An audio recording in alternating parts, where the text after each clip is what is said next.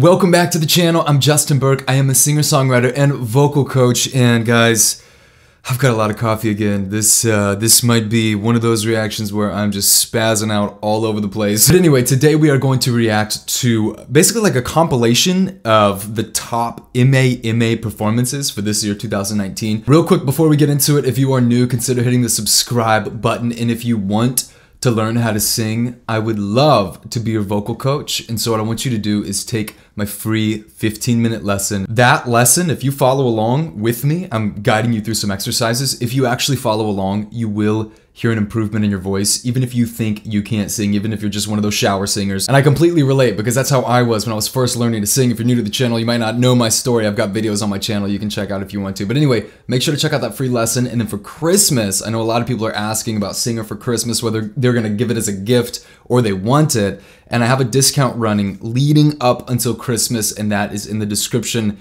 as well. So you can check that out. All right, let's get into this.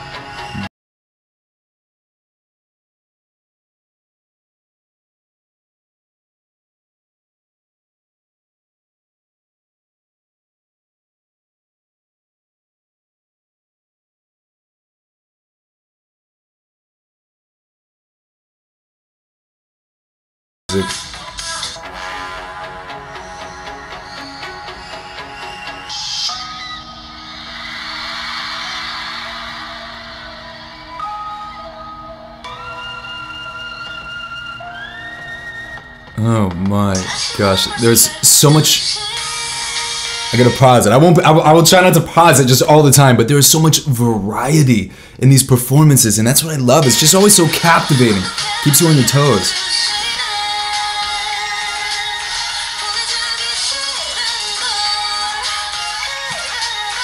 Mm.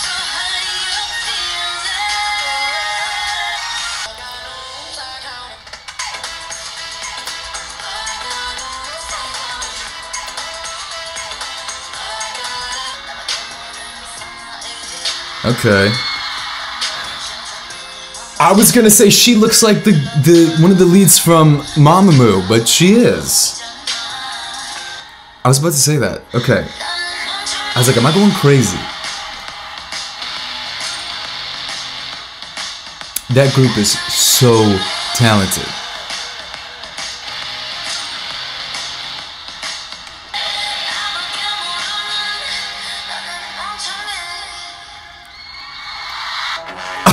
Wait, what was that look at the end there? It's like a little confused there.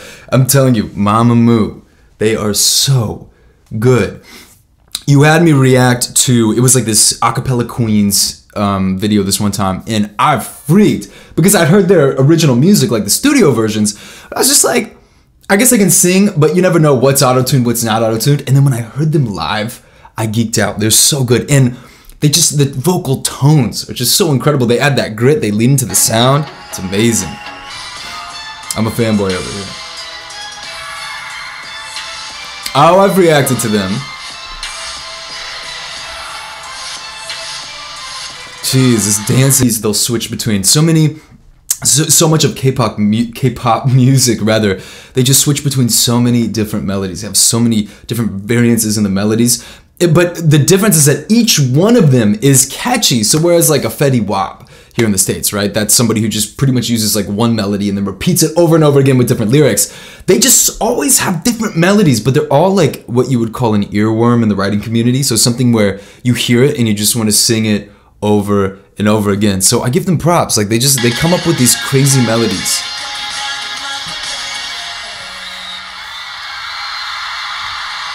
Oh. Oh. I wasn't ready for that. Give me my coffee. Oh my. Wait, this is awesome.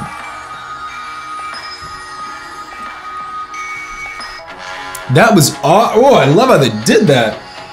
That was awesome.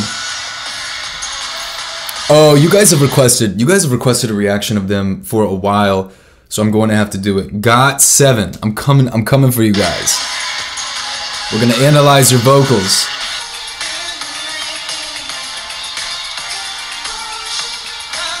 Oh, I like that.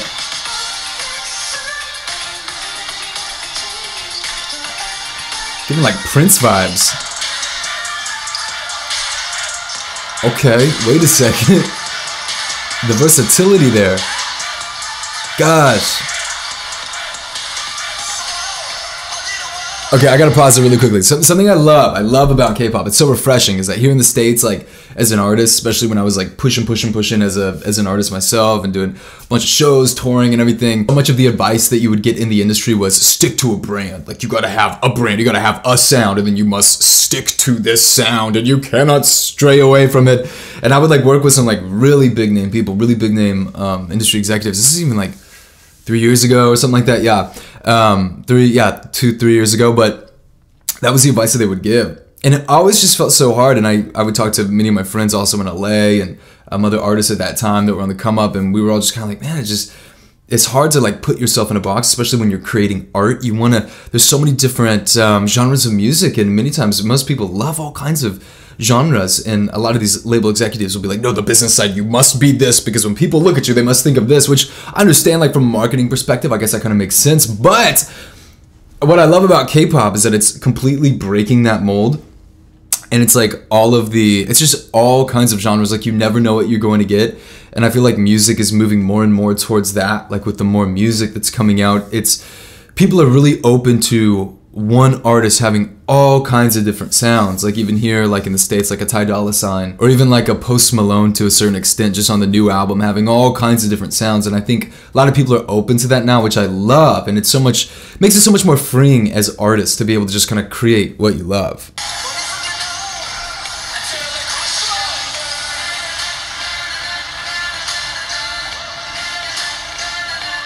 Gosh, they're so good. They're so like what the heck? Like every group is so good.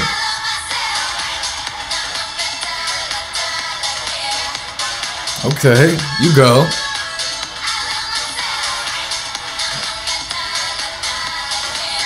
I love the juxtaposition, like the contrast of the super sweet melody and like the cutesy lyrics with this like gritty synth coming in, almost like dubsteppy. like I'm at like a rave or something. Mm, mm, mm.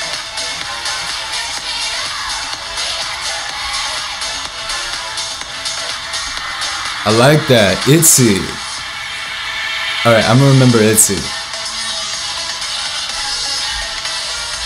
Oh my gosh.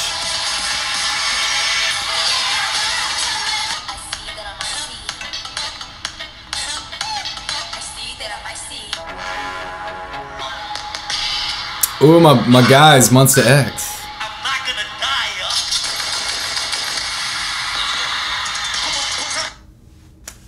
I was not ready for that. Okay, this is gonna be insane.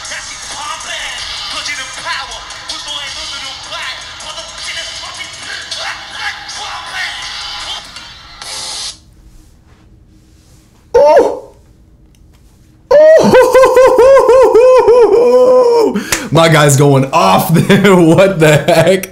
Monsta X. I need a sip of coffee. Jeez.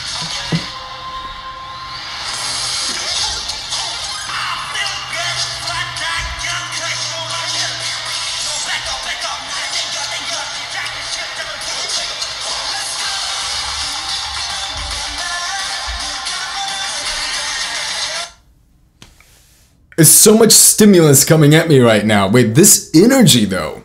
This is a great example of an amazing like kind of hip hop performance where they're bringing that crazy energy. You gotta love it. You gotta love it. That is so much of of the kind of like hip hop rap swagger. So glad that they're owning it like that. And look at how how much commitment they're putting into this performance, like with the moves and everything.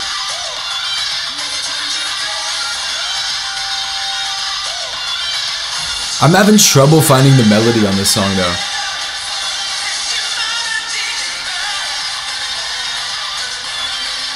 There's just like so much going on in that song.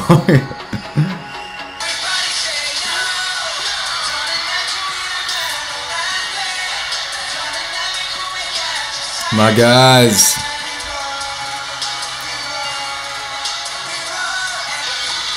So wait, the in Oh my gosh. So this is different from MMA. Whoa! I don't remember this.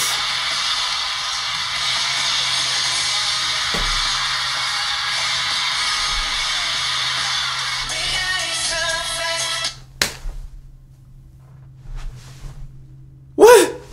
What the what the what the hat? I I've seen that one before. Them rehearsing that, and I remember I was like, if I did, I, I watched it with my sister. I remember I was like, if they threw that at me, just boom, like I get right in the forehead, just be out, just done, dead. the end of me. so, there. Look at the bromance there. They're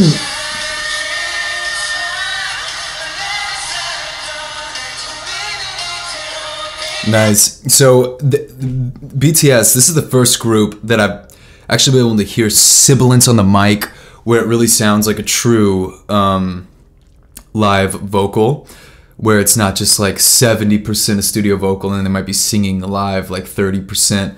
Because um, that's what I was hearing a lot before, and I, I understand because the groups before were doing all these kinds of intricate dances, and it's a production, and so when you're when you when you have a big production like this there's so many different cues, lighting, sound. It's just so many moving parts where you have to make sure you're right on. It's kind of like an EDM festival where they're not necessarily going to mix it live. They're going to have a pre-mixed set basically, um, so that just the lighting and everything can be cued. But I I heard live vocals with BTS, so I'm proud. That's awesome. Let's keep playing.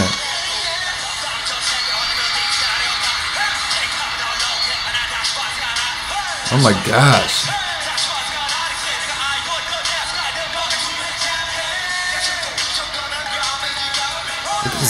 Hey, sheesh.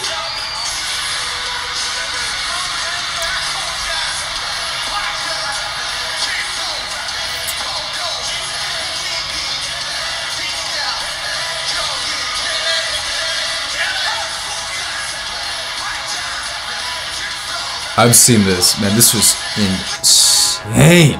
Every group did an amazing job, and I I go back and forth with how do I feel about about having a studio vocal in the backtrack above 50%. I'll give if there's going to be crazy dancing 50% that's fine because you need that. There's going to be some times where you got to catch your breath in different places and you're going to need for the audience you're going to need a little bit of a backing vocal behind you just just for the the the audience's sake for the fans that have paid money to go see it or the people that are viewing on YouTube you need that. But when it's 80% 90% of a backing vocal with the studio or of a backtrack with the studio vocals in it that's where i'm just kind of like okay wait a second is this really a performance or is it more of a dance performance? Which a dance performance is great but as vocalists and here's my thing too if I didn't think that they had it, like if I didn't think that they were that good, I'd be like, okay, you know what, whatever, it's all good. But I know that all those groups are so talented. They have such amazing voices. I guess it's just not as fun to watch when you know that there's lip syncing going on. You know that there's there's not actually any singing. 50%, I get it. You know, ideally the lower of a studio vocal that you have in your backtrack, the better in my opinion, because I want to hear the raw voice. And I even think that little pitch issues here and there, that's okay because as the audience it just is more fun to know this is happening live like something could go wrong. You know what i mean? It's like that it's just more fun to watch knowing that that this is truly live. And of course as a vocal coach and analyzing vocals i want to hear them actually sing. And i did hear it for bts and i think i heard it for other um, other groups too. And leave me a comment. Maybe you disagree. Maybe you were like no no no they sang everyone and i want to hear about that. Because just from what i could tell that some of those first groups were definitely lip syncing so leave me a comment what do you think? Do you agree? Do you disagree? If you are new make sure to subscribe and if you want to learn how to sing i'd love to be your vocal coach. Take my free 15 minute lesson. It's on Singr, it's my website. Go check it out. The link is down in the description. It's a video. I'm basically guiding you through different exercises. You can follow along with me and you will hear an improvement in your voice. And then if you want to give the gift of singing for Christmas or you want to learn how to sing this Christmas, which you definitely should, use the discount in the description. Okay, so the description in YouTube has all the good stuff, the discount, and my free lesson. So make sure to check those out. And I will see you beautiful people tomorrow in the next video. Peace.